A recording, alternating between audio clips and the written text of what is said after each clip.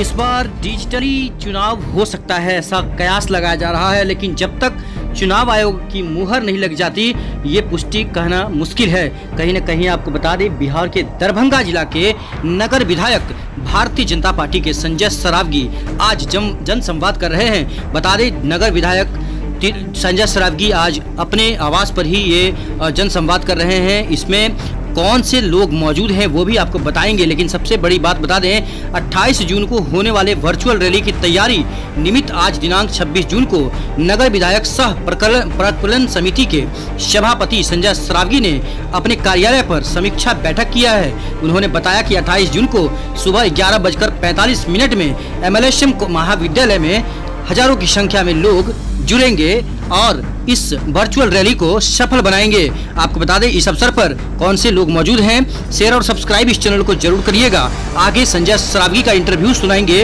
उन्होंने अपने इंटरव्यू में क्या कहा है? इस बैठक में मौजूद रहे भाजपा जिला मंत्री Raju Tiwari Pramod Saran Satsangi IT social media cell के क्षेत्रीय प्रभारी मुकुंद चौधरी दरभंगा नगर अध्यक्ष लक्ष्मण झुंझुनवाला लहरिया सराय नगर अध्यक्ष संतोष पोदार, सदर मंडल अध्यक्ष, रतन पासवान, निशांत चौधरी, गोविंद झा, दिलीप पासवान, अरुण झा, विनोद बिहारी, दिलीप गुप्ता कामोद राय रमेश झा, पंडित वेद व्यास आदर्श ठाकुर, रणधीर दास सहित सैकड़ों यहाँ पर कार्यकर्ता मौजूद रहे हैं। विशेष कवरेज देखिए, अब संजय सरावगी ने इस बारे में क्या कहा है, वो अब आपको हम सुनाते हैं।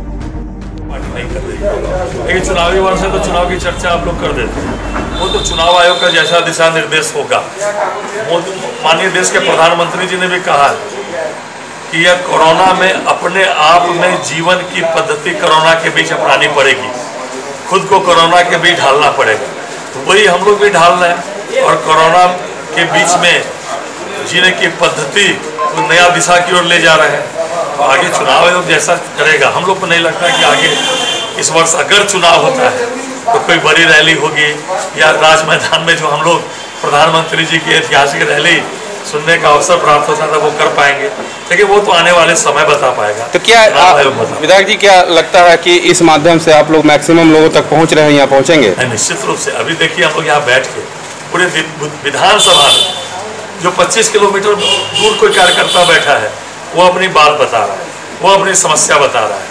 पार्टी के अंदर के संगठनात्मक स्थिति बता रहा है। एक साथ सैकड़ों की संख्या में अभी कार्यकर्ता जुड़े, उनसे तैयारी के निमित्त बात होगी नहीं तो फिर बैठक में लोग जुड़ते अलग अलग बैठकें होती अलग अलग वार्डों में अलग अलग पंचायतों में अलग अलग बूथों में।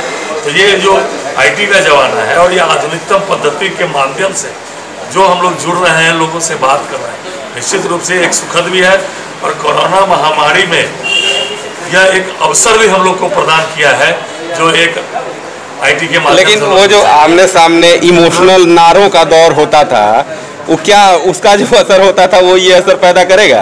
देखिए कोरोना के बीच में अपने आप को ढालना पड़ेगा।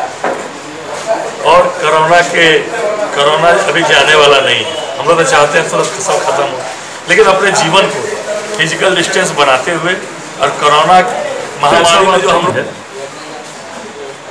अब भारतीय जनता पार्टी, आम आवाम की पार्टी। कल परसों भी आप लोगों ने देखा, चौहत्तर परसेंट लोग इस देश के ओजस्वी प्रधानमंत्री के पक्ष में बोल रहे इस देश में जो विदेश, जो चाइना का टेकल किया गया या जो भी कोरोना के समय जो नरेंद्र मोदी जी ने किया, चौहत्तर परसेंट लोग इसका समर्थन कर रहे हैं। अब भारतीय जनता पार्टी, आम आवाम के बीच की पार्टी। और हम लोग को गौरव है कि देश कहीं से कोई सुझाव आया प्रधानमंत्री हम लोग को। कोई सुझाव आया इसकी संख्या बढ़े जनसंपर्क संवाद में? निश्चित रूप से। इसको हम लोग वार्ड वार्ड तक पंचायत पंचायत तक ले जाएँगे। आम लोगों को जोड़ेंगे आम लोगों से जुड़ेंगे।